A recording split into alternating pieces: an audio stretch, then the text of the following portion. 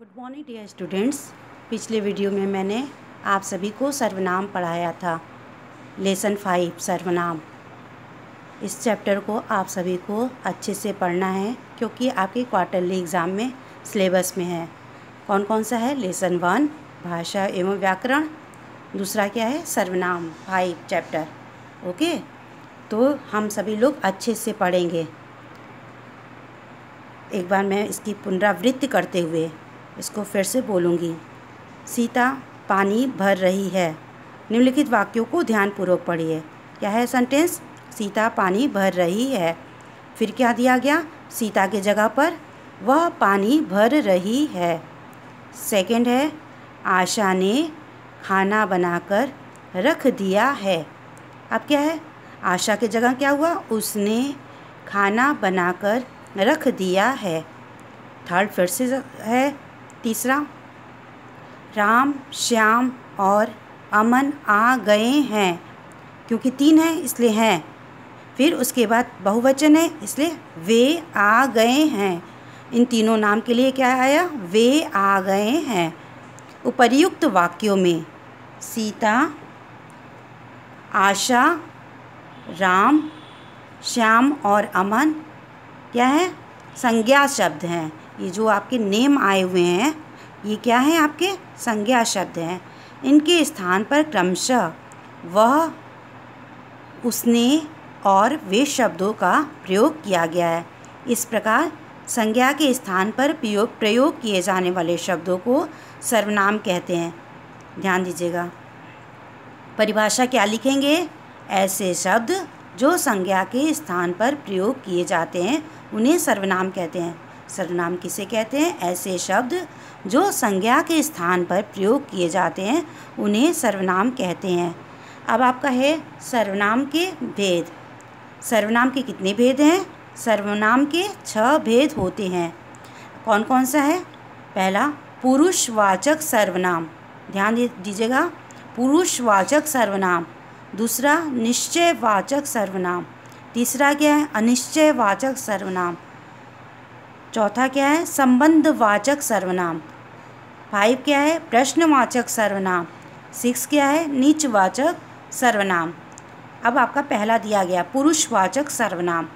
जो सर्वनाम शब्द बोलने वाले, सुनने वाले व किसी अन्य व्यक्ति के लिए प्रयोग किए जाते हैं, जो सर्वनाम शब्द बोलने वाला, वाले, जो बोलता हो, वक्ता जिसको सुनने वाले जो सुनते हैं श्रोता, वह किसी अन्य व्यक्ति के लिए थर्ड पर्सन के लिए प्रयोग किए जाते हैं। उन्हें पुरुषवाचक सर्वनाम कहते हैं, जैसे वह थर्ड पर्सन के लिए, तुम सुनने वाले के लिए और मैं आपका क्या है? बोलने वाले के लिए है।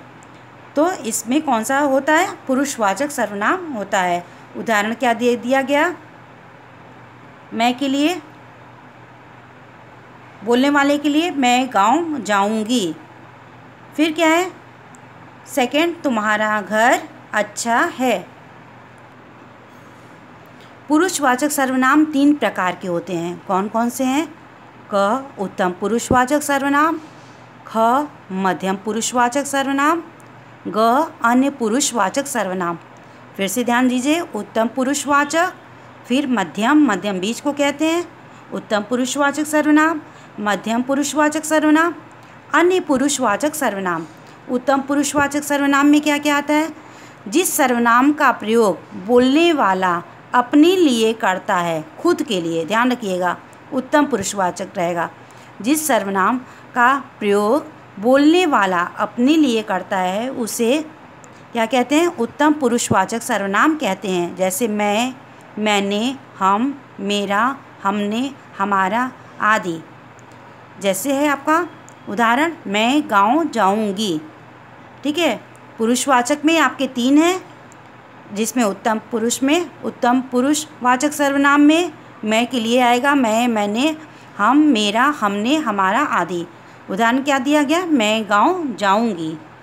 मध्यम पुरुषवाचक सर्वनाम, जिस सर्वनाम का प्रयोग बोलने वाला, सुनने वाले के लिए करता है उसे मध्यम पुरुषवाचक सर्वनाम कहते हैं। जैसे, तुम तुम्हें, तुम्हारा, आपको, तुमसे तुमने आदि। तो इसमें क्या दिया गया? उदाहरण, तुम्हारा घर अच्छा है। ठीक है? तो ये आपका मध्यम पुरुषवाचक सर्वनाम है। अन्य पुरुषवाचक सर्वनाम, जिस सर्वनाम का प्रयोग बोलने वाला सुनने वाले के अतिरिक्त अतिरिक्त मतलब तीसरे व्यक्ति के लिए। किसी अन्य पुरुष के लिए करता है, उसे अन्य पुरुषवाचक सर्वनाम कहते हैं। जैसे, उसका उन्होंने वे आदि। तो आप उदाहरण क्या देंगे? वे खाना खाकर सो गए हैं। वक्ता अपने लिए नहीं कह रहा है बात। सुनने वाले के लिए भी नहीं कह रहा। किसी अन्य पुरुष के लिए कह रहा है, अन्य व्यक्ति के लिए। तो क्या हुआ? अन्य पुरुषवाचक सर्वनाम। वे खाना खाकर सो गए हैं। इसको आप सभी लोग अच्छे से पढ़ेंगे बच्चों। फिर है आपका सेकेंड निश्चयवाचक सर्वनाम। छः भेद में सेकेंड आता है, निश्चयवाचक सर्वनाम।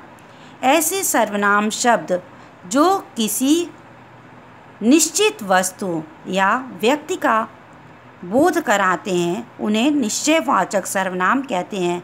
जैसे यह ये वह, वे, ऐसे इनमें आदि। अब क्या दिया उदाहरण? यह कुर्सी पिताजी की है। यह बात आपकी निश्चित है। वह, मेरा पेन है। तो निश्चित है तो इसलिए निश्चयवाचक सर्वनाम हुआ। अनिश्चयवाचक सर्वनाम, ऐसे सर्वनाम शब्द जो किसी अनिश्चित वस्तु या व्यक्ति का बोध कराते हैं। बोध कराना, ज्ञान कराते हैं। तो उन्हें अनिश्चयवाचक सर्वनाम कहते हैं। जैसे कुछ, कोई, किन्हीं, किसी, थोड़ा आदि। तो आपका आया, राम के यहाँ कोई आया है। कौन आया है? यह निश्चित नहीं है, इसलिए अनिश्चयवाचक सर्वनाम है, कोई शब्द। गिलास में थोड़ा सा दूध है, कितना है? थोड़ा सा। तो आपका क्या हुआ? अनिश्चय वाचक सर्वनाम। संबंध वाचक सर्वनाम, ऐसे सर्वनाम शब्द जो वाक्य में अन्य सर्वनाम शब्दों से संबंध बताते हैं। उन्हें संबंधवाचक सर्वनाम कहते हैं, जैसे, जो, वही, जैसा, वैसा, जितना, उतना, जहाँ, तहाँ, जिसकी, उसकी आदि। उदाहरण क्या दिया? जो अच्छा चित्र बनाएगा, वही जीत पाएगा। तो वही जीत पाएगा का संबंध किससे? जो अच्छा चित्र बनाएगा, एक दूसरे से रिलेटेड है। तो संबंधवाचक सर्वनाम है। जैसा करोगे, वैसा भरोगे। यह एक दूसरे से संबंधित है। प्रश्नवाचक सर्वनाम। ऐसे सर्वनाम शब्द जो किसी व्यक्ति, वस्तु या स्थान के विषय में प्रश्न पूछने या करने का बोध कराते हैं, उन्हें प्रश्नवाचक सर्वनाम कहते हैं। जैसे कौन क्या किसने कितना कब किसे आदि तो उदाहरण क्या दिया गया? खिड़की से कौन झाँक रहा है? तो कौन प्रश्न किया जा रहा है? प्रश्नवाचक है। वहाँ क्या क्या रखा है? अब आपका है नीचवाचक सर्वनाम। ऐसे सर्वनाम शब्द जो वाक्य में कर्ता के साथ अपनापन बतलाने के लिए प्रयुक्त किए जाते हैं। कर्ता के साथ अपनापन बतलाने के लिए। उन्हें निजवाचक सर्वनाम कहते हैं, जैसे स्वयं अपने आप खुद आदि। वह स्वयं गाड़ी चला लेगी। तो कौन सा सर्वनाम है? निजवाचक सर्वनाम। इसको ध्यान रखिएगा। इसको, इस तरीके के प्रश्न आएँगे। वह स्वयं गाड़ी चला लेगी। कौन सा सर्वनाम है? निजवाचक सर्वनाम है। वह अपने आप विद्यालय चली जाएगी। तो क्या है? वह अपने आप। अपने आप आपका क्या है? निजवाचक खुद के लिए है। अब आपका आता है सर्वनाम की रूपरेखा। सर्वनाम शब्द वचन और कारक के अनुसार परिवर्तित होते हैं। अगर प्रश्न रहता है, सर्वनाम शब्द किसके अनुसार परिवर्तित होते हैं? तो वचन और कारक के अनुसार, जिनका विवरण निम्नलिखित है। कर्ता आपका है, वह उसने, वे उन्होंने कर्म, उसे उसको, उन्हें उनको, करण उससे उसके द्वारा, उनसे उनके द्वारा संप्रदान उसके लिए, उसको उनके लिए उनको, अपादान उससे उन, उनसे, संबंध उसका, उसकी, उसके, उनका, उनकी, उनके, अधिकरण उसमें, उस पर, उनमें, उन पर। अब आपका आता है प्रश्नोत्तर। निम्नलिखित प्रश्नों के उत्तर लिखिए। सर्वनाम की परिभाषा, ध्यान दीजिएगा। प्रश्न है आपका, सर्वनाम की परिभाषा लिखिए। ऐसे शब्द जो संज्ञा के स्थान पर प्रयोग किए जाते हैं, उन्हें सर्वनाम कहते हैं। ख है सर्वनाम शब्द, किन शब्दों के स्थान पर प्रयोग किए जाते हैं? सर्वनाम शब्द किसके स्थान पर प्रयोग किए जाते हैं? संग संज्ञा के स्थान पर। तो ये आपका मैंने बता ही दिया था, सीता पानी भर रही है। आशा ने खाना बनाकर रख दिया है। राम, श्याम और अमन आ गए हैं। उनके स्थान पर क्या प्रयोग किया गया है? वह उसने वे, ठीक है? तो ये पूरा आप बताओगे। शब्दों का प्रयोग किया गया। इस प्रकार संज्ञा के स्थान पर प्रयोग किए जाने वाले शब्दों को सर्वनाम कहते हैं। अब आपका है ग पुरुषवाचक सर्वनाम किसे कहते हैं? यह कितने प्रकार का होता है? प्रत्येक का नाम लिखिए। जो सर्वनाम शब्द बोलने वाले, सुनने वाले व किसी अन्य व्यक्ति के लिए प्रयोग किए जाते हैं, उन्हें पुरुषवाचक सर्वनाम कहते हैं, जैसे वह तुम, मैं, वे आदि। ये आपका है उत्तम पुरुष में, आपका इतना तीनों आएगा। मध्यम पुरुष, उत्तम पुरुषवाचक सर्वनाम, मध्यम पुरुषवाचक सर्वनाम, अन्य पुरुषवाचक सर्वनाम। आपका था ना, पुरुषवाचक सर्वनाम के कितने प्रकार होते हैं? तो ये आप तीन प्रकार बताएँगे। ठीक है, ये आपका सेकेंड का है, सर्वनाम शब्द। प्रश्न था क्या? थर्ड आपका था ना? ग, पुरुषवाचक सर्वनाम किसे कहते हैं या कितने प्रकार का होता है? प्रत्येक के नाम लिखिए। तो आप तीनों के इसके नाम के बारे में बताएँगे, अच्छे से पढ़ेंगे। अब आपका आता है फोर सर्वनाम शब्द किसके अनुसार परिवर्तित होते हैं? ठीक है तो आपका फोर क्वेश्चन है। ये देख लीजिए, सर्वनाम शब्द किसके अनुसार परिवर्तित होते हैं? तो ये आपका आंसर दिया रहेगा, सर्वनाम शब्द वचन और कारक के अनुसार परिवर्तित होते हैं।